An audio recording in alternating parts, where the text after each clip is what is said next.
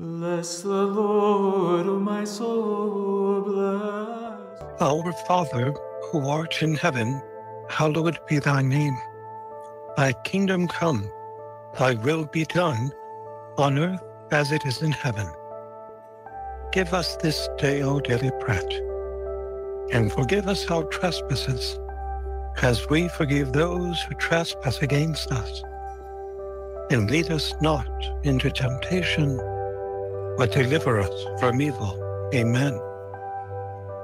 In the name of the Father, and of the Son, and of the Holy Spirit. Amen. Hi, thanks for tuning in to another video on Armor of God. As always, let me start the video by saying thank you so much to all of you for your support, your time, contribution, and hopefully you'll always learn something new from what we put together in this channel for all of you. For this video, we're going to talk a little bit about exotheology, which is basically the examination of theological issues as they pertain to extraterrestrial intelligence. St. Padre Pio of Pietrelcina was asked by one of his friars some people say there are Martians on other planets. Is this true? Padre Pio stating, Ebbe, voi che non esistono, certamente che esistono, e alcuni di loro sono senza peccato. In Italian, he replied, Of course, why do you not want them to exist? Of course, these beings on other planets exist, and some of them are without sin. Before I go any further with the video, though, I think it's important for me to share a little bit about Father Joseph Iannuzzi.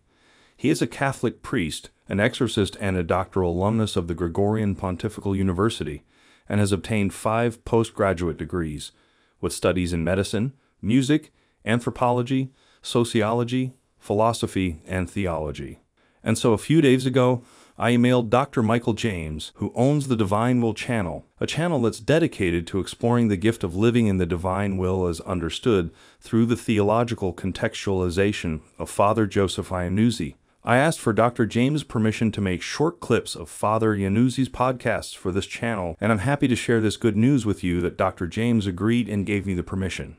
I've been watching hours and hours of Father Iannuzzi's podcast for the past couple of days, and I even put some of the podcasts on auto loop before I go to bed. And I must say this that I'm really excited to share some of the things I've learned from him. So, anyway, now buckle up and let's get right on it then. The study of the possibility of extraterrestrial life in the cosmos. Because it has to do with invoking the name of Jesus. As one who has performed many exorcisms and who has shared my experiences with other exorcists, I can attest to you on their behalf and mine that during exorcisms, there have been expelled from people demonic entities that were neither angelic nor human. Let me repeat that. Several exorcists can attest to the fact that they have expelled from people that were diabolically afflicted entities that were neither angelic nor human. In the, in the study of exotheology, one encounters the reality of existence of beings who are rational and that have physical bodies throughout the cosmos that are neither angels nor humans. St. Padre Pio of Pietrelcina was asked by one of his friars some people say there are Martians on other planets. Is this true? And Padre Pio replied, and you can find this, by the way, his response on this question in a book put out, Catholic book put out with the Imprimatur Nihil Obstat, official magisterial seals of approval, which mean nothing is contrary to the faith. Padre Pio stating, Ebbe, voi che non esistono, certamente che esistono, e alcuni di loro sono senza peccato. In Italian, uh, he replied, Of course, why do you not want them to exist? Of course, these beings on other planets exist, and some of them are without sin. Okay, now this opens up a chapter to a whole different field of theology. And I know what may be coming across your mind.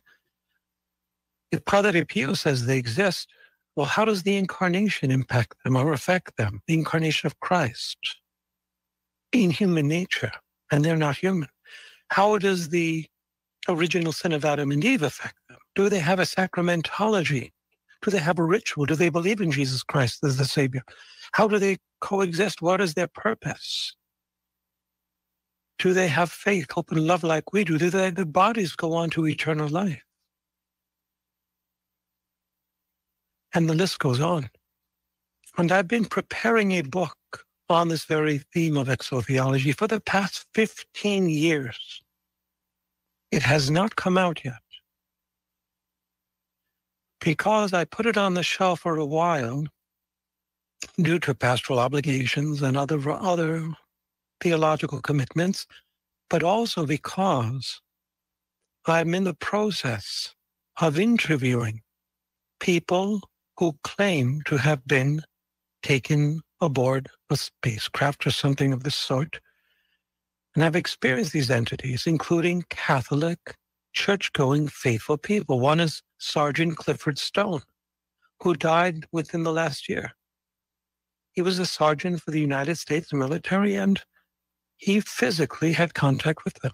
And he talks about it in his book. And there are others. I, I'm, I know of over 350 individuals that have had this experience. And there are many more throughout the world. But I share this with you because it's not just Padre Pio that speaks of this. Other church fathers and doctors do as well. And many Catholics don't realize this. They talk about the reality of their existence. Nonetheless, it does not impact us personally, this reality, in our, in our faith journey, nor in our spirituality. It does not. But I mention this in passing because when these individuals I know claim to have been abducted, invoke the name of Jesus, the abduction stops on the spot every single time. Over 1,000 documented cases where when an individual was being abducted and they called upon the name of Jesus, the abduction stopped, which means these are not good beings. Now, I know what you're thinking. They're, they're fallen angels. No, they're not. And I know people have claimed that, but that's not true because they have physical bodies and angels don't have physical bodies that die and then go on to an eternal place like these do. But um, I don't want to go into this theme, but maybe one day if it's necessary, spiritually, theologically, I can address it. I have addressed it once or twice in um, random meetings, but I never address this really publicly, per se, because it, again, it doesn't have to do with the gift of living in the divine will.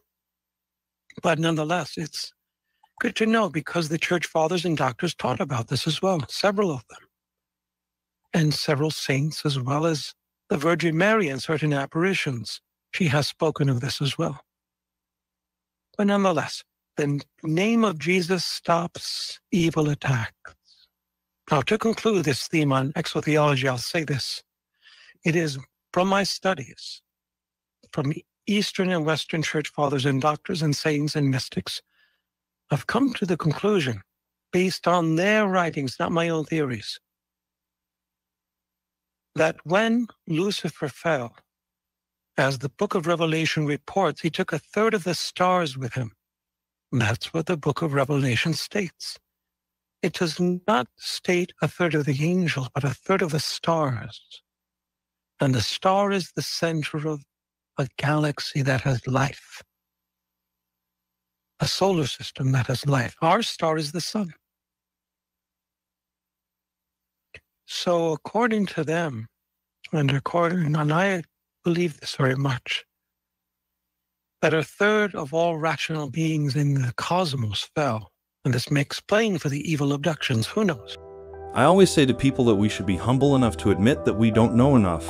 I think, in a way, I'm saying that from my own personal experience because I used to think many years ago that there isn't anything really new to learn about our faith, of the church, about Jesus. So, in a way, when I say that to people, I'm always trying to remind myself that there's so much I don't know, and I will tell you this that it's a great comfort to know that I can learn so much more from the writings of the church fathers, the saints, from these priests like Father Lampert, Father Carlos Martins, Father Iannuzzi, and many more. I don't have to reinterpret the Bible according to my own understanding when the church has done so for us all. It's something that kept on hitting me whenever I read some of the comments written by Protestants. On one hand, their comments look ignorant and full of assumptions, but on the other hand, it's an opportunity to plant the seeds and with the grace of God, they will one day come to see the truth. And so, for the last part of this video, I'll be sharing an audio clip of Monsignor Rossetti praying for us. One of our afflicted people had a, a spiritual experience recently.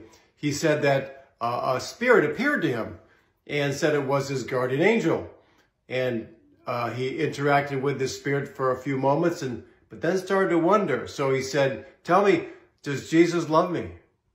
And the spirit said, no, Jesus hates you. And then he knew it was not a guardian spirit. It was uh, the evil one. I've been saddened recently to hear how many people are suffering with these internal feelings of self-hatred and self-loathing. This does not come from the Lord. It comes from the evil one. Jesus loves you. God loves you and forgives you, regardless of your past. So let's say a prayer now to cast out those evil spirits of self-hatred. So here's a, a shortened version. So repeat after me. In the holy name of Jesus, I know that I'm a beloved child of our Heavenly Father. May the precious blood of Jesus cover me. In his most holy name, and covered in his precious blood, I bind all evil spirits of doubt, fear, despair, unforgiveness, unworthiness, and self-hatred. I renounce you. I reject you. I rebuke you and I cast you out. Again, I renounce you. I reject you. I rebuke you, and I cast you out. Now I'll say, I invoke the keys of St. Peter and the authority of the church, and I command the evil spirits of self-doubt, self-hatred, despair, unforgiveness, all these evil spirits to leave and never return. Exiabea nuxantanas, ioti commando, nami Domini nostri Jesu Christi. I command the evil spirits to leave you. I pray the blood of Jesus would wash over each and every one of you. May the blood of Jesus wash over your mind. The blood of Jesus wash over your heart. Bring you a deep, deep sense of healing and peace. Casting out the darkness, bringing healing and peace. In the name of Jesus, be healed In the name of Jesus, may you be at peace. And may Almighty God bless you, Father, Son, Holy Spirit. Amen. Go in God's peace. Well, that's all for this video. Thank you so much for being here with us, for your time and endless support. I can't thank you enough. For those of you who'd like to support our works, I left the donation to our PayPal donation down in the description box below. As we are doing this full time, it truly has been an amazing journey of discovery, humility, and learning from putting all of these things together. Anyway, until the next video, stay safe, stay healthy, and God bless you. Don means in it's a it's a it's a diminutive, a nickname for Lord.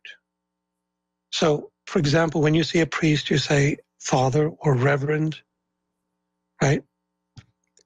Well, back in the day, they would call a priest Don which is short for Lord in Latin, which is Domino. You make Domino short, it becomes Don, like Don Scotus, right? Don Bosco. Well, you have Don, right? That means Lord. It's a sign of respect, like Sir.